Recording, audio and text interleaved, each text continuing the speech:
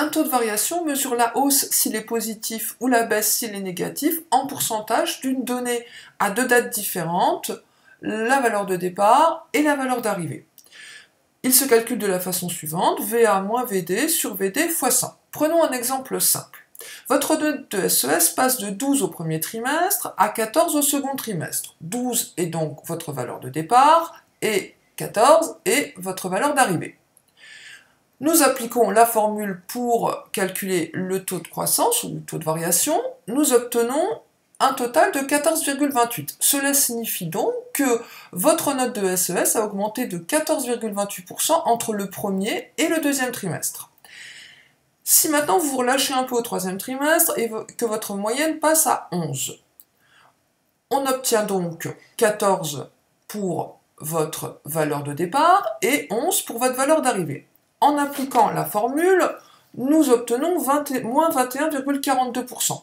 Cela signifie que votre note de SES a baissé de 21,42% entre le deuxième et le troisième trimestre.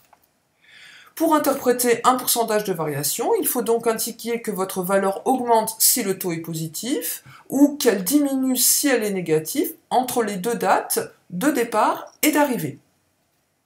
Ces augmentations peuvent être très importantes. Prenons comme exemple le cours de la crypto-monnaie, le Bitcoin.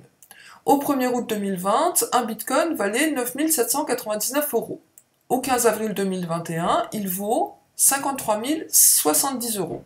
Si je calcule le taux de variation, j'obtiens un résultat de 441,6%. Euh, cela signifie que le cours du Bitcoin a augmenté de 441,6% entre le 31 août 2020 et le 15 avril 2021. Imaginons maintenant que ce cours très volatile s'effondre pour atteindre en 2022 1060 euros. En appliquant ma formule, j'obtiens un résultat de moins 98. Cela signifie que le cours du Bitcoin a baissé de 98% entre le 15 avril 2021 et le 31 décembre 2022.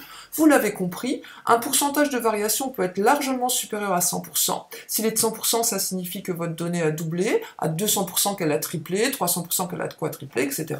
Par contre, il ne sera jamais inférieur à moins 100, puisque diminuer de 100% signifie perdre toute sa valeur.